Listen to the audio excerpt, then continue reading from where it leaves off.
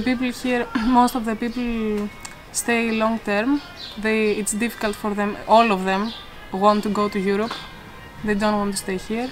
They manage to go, but after uh, one, two, even three years. The more vulnerable people are selected to stay in the camps, like families, uh, women and children.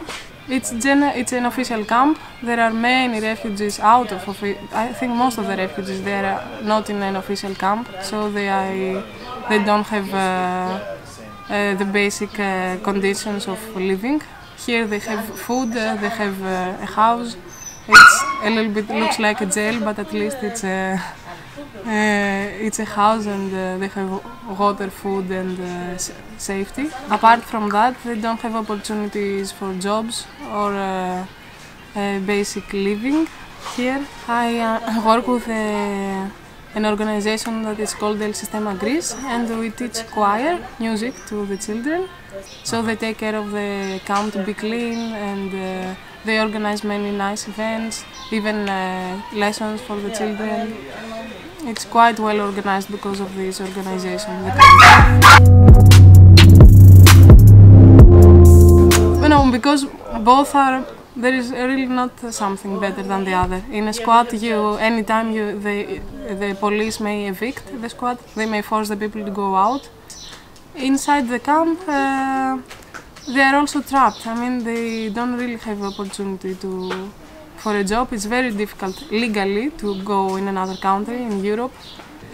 Generally, for about the refugee crisis, I'm quite uh, pessimistic. I think it's a huge uh, um, game uh, with huge uh, financial uh, benefits for specific uh, groups of people and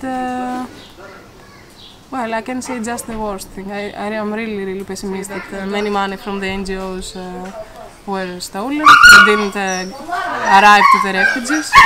So this is what uh, is left for the refugees. The, public, the big uh, media here, they show a very small uh, part of the problem. So they show the refugees like people aggressive, who fight, and uh, it's really not the, the real uh, picture.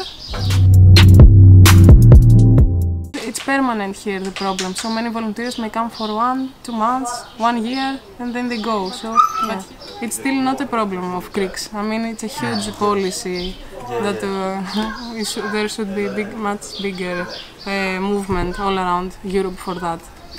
Now it's just a dead end and uh, it's very difficult for the people to stay in the Greek society. There are too many because all the borders are closed.